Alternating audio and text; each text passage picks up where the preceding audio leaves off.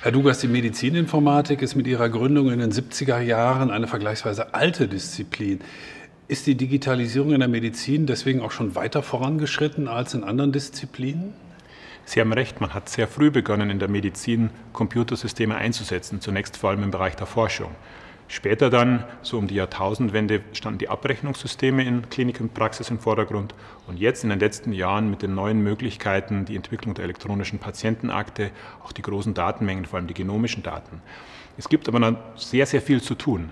Also das ist einfach so, die Medizin ist ein großes, wirklich großes Feld. Mhm. Deswegen sind wir weiter als woanders. Wir haben schon mehr gemacht, aber mhm. es gibt noch sehr viel zu tun. Mhm. Mit, ähm, in dem Zusammenhang ist ja mal davon einer Datenexplosion regelrecht die Rede. Es gibt immer mehr Daten, es gibt immer mehr, vor allem immer mehr ältere Patienten. Auf der anderen Seite bleibt die Zahl der Ärzte und deren Zeitkontingent ja irgendwie stabil.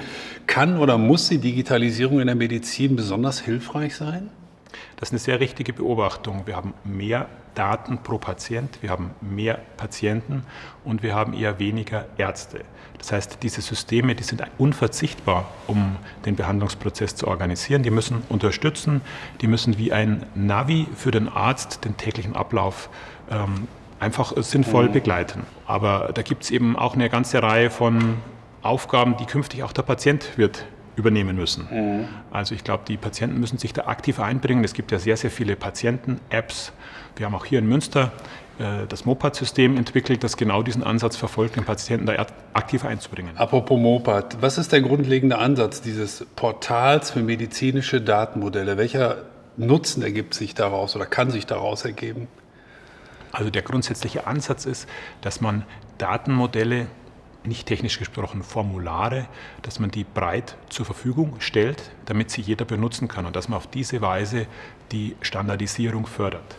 Denn in der Standardisierung in der Medizin ist noch sehr, sehr viel zu tun. Wenn Sie eine ernsthafte Erkrankung haben, zum Beispiel einen Herzinfarkt, wenn Sie den hier in Münster haben, in Berlin oder in Paris, wird das immer das gleiche medizinische Problem. Mhm. Aber die Daten, die über Sie gesammelt werden, die sind nach wie vor sehr unterschiedlich. Mhm. Und deswegen braucht man Verfahren, wie man hier zu einer Standardisierung kommt. Das ist ein großes Problem, weil es so viele Diagnosen gibt, weil es ähm, äh, Medizin in verschiedenen Sprachen betrieben wird. Und äh, da ist also Transparenz durch so ein System ein wichtiger Aspekt. Es geht also vielfach auch um Datenaustausch in der Medizin. Ähm, wie kann man den fördern? Wie kann das gelingen, dass das bei der Vielzahl an Daten, bei der Vielzahl an Sprachen, bei der Vielzahl an Diagnosen überhaupt funktioniert?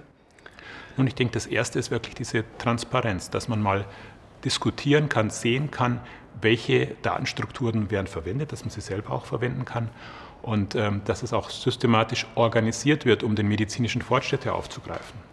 Und ich meine, deswegen ist das ja als eine europäische Forschungsinfrastruktur anerkannt, wird von der DFG gefördert. Mhm. Großes System, 16.000 Formulare, 400.000 Felder. Also es ist wirklich ein sehr, sehr großes Unterfangen, um diesen Standardisierungsprozess zu unterstützen. Der kommt sowohl der medizinischen Forschung als auch der Patientenbehandlung zugute. Wenn der einfache Bürger von so etwas hört, dann hat er wahrscheinlich sofort ähm, im Hinterkopf, es geht um den digitalen Patienten, es geht um den gläsernen Patienten möglicherweise. Können Sie nachvollziehen, dass das für den einen oder anderen regelrecht bedrohlich klingt? Das kann ich sehr gut nachvollziehen, die Sorge vor dem gläsernen Patienten. Datenschutz und Datensicherheit sind absolute Grundvoraussetzungen, damit Vertrauen in diese Systeme entstehen kann. Und es gab ja auch eine ganze Reihe von Vorfällen, die zeigen, dass es da Probleme gibt. Ich glaube, ganz wichtig ist, dass wir als Menschen, als Patienten, als Bürger kontrollieren können, was mit unseren Daten passiert. My Data, My Decision. Dazu gehört aber auch, dass wir zunächst überhaupt mal Zugang zu unseren Daten bekommen, dass nicht heimlich irgendwelche Leute über uns Daten sammeln. Mhm. Wenn das gelingt, dann steckt allerdings auch viel Positives für uns da drin. Mhm. Das ist einerseits eine optimierte Diagnostik und Therapie und die medizinische Forschung, die profitiert auch davon. Apropos, im Moment steht die Medizininformatik ja vor allem für die Dokumentation von medizinischen Daten. Wo sehen Sie eine Weiterentwicklung? Auch im Sinne der Patienten möglicherweise? Natürlich. Also wir, wir müssen die Bürokratie reduzieren.